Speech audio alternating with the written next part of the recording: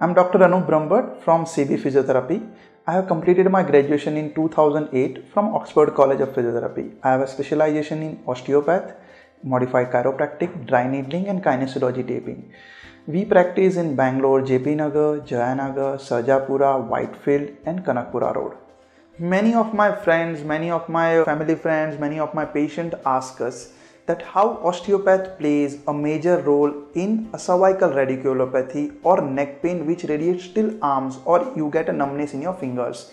See, as an osteopath, we believe that if a patient has a radiating pain, spine plays a role like your cloth. So when you squeeze your cloth, water comes out. So when you over squeeze your spine, the disc bulge comes out and which gives you radiating pain.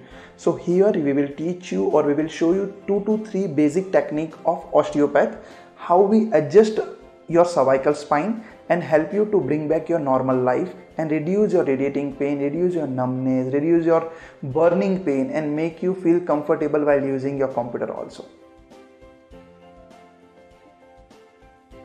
We are going to show the demonstration of how as an osteopath or as a modified chiropractor, we help you to work on your cervical radiculopathy where the patient will have the neck pain and present with a complete numbness on both the hands.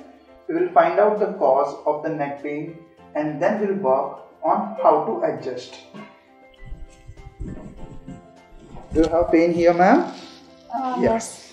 We'll check the requirement, we'll see the thrust, and then we'll check the requirement and then we'll go on a thoracics also. After this, we'll check again the alignment and then leave it. As I said you, find it, fix it and leave it.